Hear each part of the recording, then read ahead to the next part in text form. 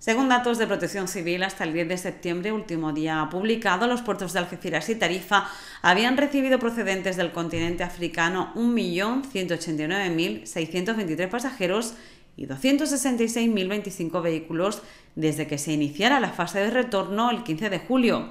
Estos dos puertos de la provincia de Cádiz agrupan en torno al 75% del tráfico global de esta OPE que se desarrolla en otros cinco puertos de España. Según declaraciones del presidente de la Autoridad Portuaria, Gerardo Landaluce, recogidas por Europa Press, el crecimiento en pasajeros ha crecido alrededor de un 3,6% hasta el momento. En cuanto a datos de mejora de la OPE en 2024 respecto al año pasado, en tráfico de vehículos se registra un incremento del 6,3% en el conjunto de puertos de la operación. Entre todos estos puertos, ha señalado el andaluce, se han alcanzado una cifra récord al acercarse a dos días de finalizar la OPE a casi 3 millones de pasajeros entre la fase de salida y de retorno.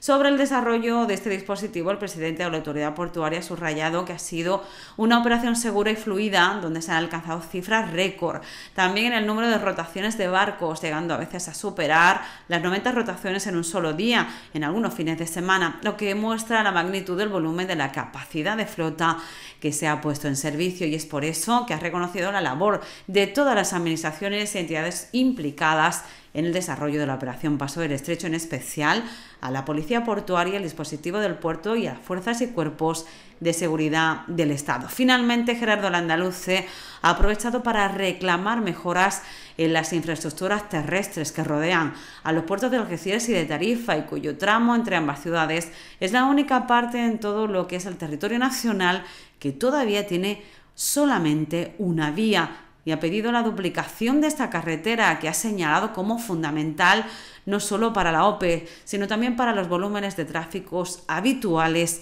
en esta zona.